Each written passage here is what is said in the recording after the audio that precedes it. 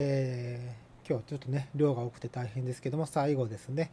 えー、文字列をね扱っていきます。配列変数のね延長になっていきます。で、えー、サンプルのプログラムとしてはねスコア10人分の点数に加えてその人の名前もね扱ってみようと。でここではネームっていう配列変数を用意してます。で、えっ、ー、と、もともとね、文字列扱うときに配列変数を使っていました。文字のね、集合ですね、集まりなので文字列になるんですけども、今回それをさらに10人分用意しなきゃいけません。そうするとね、二次元配列というものになります。10人分で1人当たりね、7個のバイトですね、箱を用意しますよというね、こんな10の7っていう書き方に、ね、なってきます。で、えっと、多分ね、皆さんが使うシステムだとね、漢字を使うと、え、ユニコードっていうものでね、扱います。Ubuntu は基本的にユニコードをね、使います。で、えー、符号化方式はね、UTF の8というルールに従って、えー、数値化しています。で、UTF の8ではね、漢字1文字表すのに3バイト使います。そんだけのメモリを使ってね、数字を割り当てています。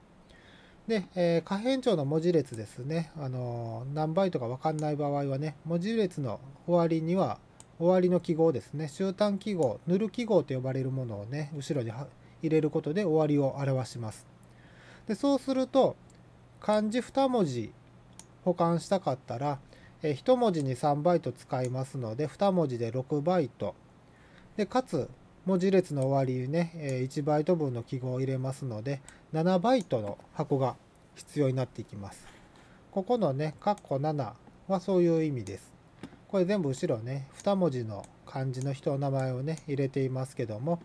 え10個分のね、え名前で、え1人当たり7バイトの、え名前を入れる箱。それをね、ネームっていうので用意してます。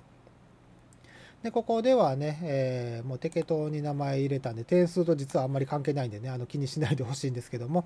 えー、教員ですね、上村とかね、熊野先生とかね、TA さんですね、浜野君、白石君、箕浦君、藤沢君、藤井君という名前を用意していますけども、えー、10人分に足りてませんね。1、2、3、4、5、6、7人分しか用意してませんのでね、え後ろ3人分各自ね、名前なんか作ってみてください。でもし1文字の名前の人の場合はね、えー、全角スペースを入れてね、全角2文字の名前として扱えるようにね、してください。で、えー、逆に3文字以上の名前使いたいなという人の場合はね、この上限値、その文字数に応じて計算してください。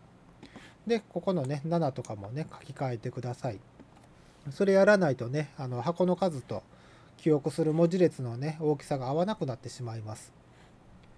はい。という形で、えっと、スコアとね、名前を用意しています。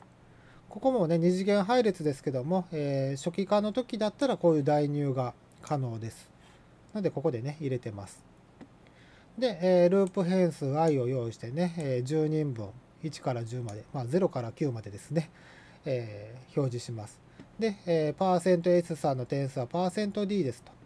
で、ネーム i 番目、の人の点数は、えスコア i 番目の点数ですよというふうに表示しています。こういう形でね、文字列の場合は、あの、この後ろのね、やつは省略できます。あの、そこがもう、文字だったらこれをね、1文字目、2文字目って書かなきゃいけませんけども、文字列はね、えー、そういうもんだというのを計算機分かってますので、えー、これの何番目、二次元配列のね、頭だけを読みに行きます。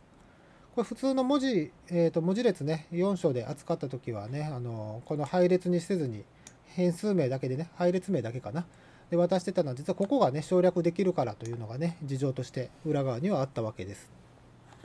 まあまあ、こういう形でね、えー、誰々さんは何点だよというのを10人分表示することができます。でえー、二次元配列のね、データの扱い方、ここに書いてますね。えー、こういう二次元のあの配列になります。ただしメモリに入るのはね、1次元のメモリに入りますので、頭から順番に入っていきます。ネームのね、00の値、01の値、02の値、06の値、で、10の値、11の値みたいなのが順々にメモリとしては保存されています。なんかアクセスするときね、えこのメモリを何番目かなっていうのをね、実は計算機は計算し直してることになります。はい。えー、で、今日の、えー、ここのね、課題7の7ですけども、まず1つ目ですね。えー、今のプログラムではね、えここ名前、もう先にね、決め打ちで入れちゃってますけども、あ、ごめんなさい、名前じゃないや、点数ですね、スコア、決め打ちで入れちゃってますけども、ここをね、えキーボードから入力するように変えてみてください。今だとね、え名前の方はもう決め打ちで入れてますので、えー、パーセント %S さんの点数を入力してくださいと画面に表示してね、えー、その i 番目の人の点数を入れてもらうという形でね、やってみてください。で、10人分のデータですね、繰り返しで10人分入力したら、えー、こっちも繰り返しですね、10回繰り返して一覧表示すると。これあの、1人入れて1人出すというプログラムも作れますけども、そうではなくてね、え繰り返しを2回使う形のね、プログラムを作ってみてください。で、えー、2番はね、えー、ごめんなさい、さっきちょっと間違って言っちゃいましたけどね、えー、名前のとこですね、氏名もキーボードから入力するようにしてみてください。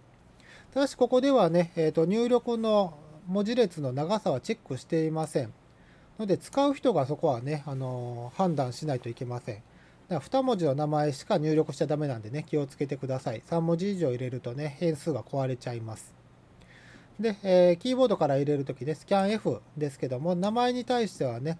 えー、各 i 番目のね、えー、先頭のところに変数ね、えー、入れてもらいたいので、えー、and name カッコ i カッコ0みたいなスキャン F をね、使います。もしくはね、このカッコ0をね、えー、and の部分省略することできまして、えー、name カッコ i と書いてもいけます。これでこのね、0番目の and だよっていう意味に実はなってます。まあ、これまたあのポインターのね、え項目で説明します。で、え課題2つありますけども、2番のところでね、必然とこの1番の点数をキーボードから入力するっていうのは、あの、作ってますので、えー2の提出のみで結構です。これ見たら1番もできてるかどうかね、判断つきますので、え課題7の7に関しては2のみのね、え提出をしてください。はい。えー、ちょっと量が多いですけどもね、8回目の課題、ここまでになります。で早く終わった人のね、説明とかね、課題のまとめがね、次のスライドにありますので、そちらを確認してください。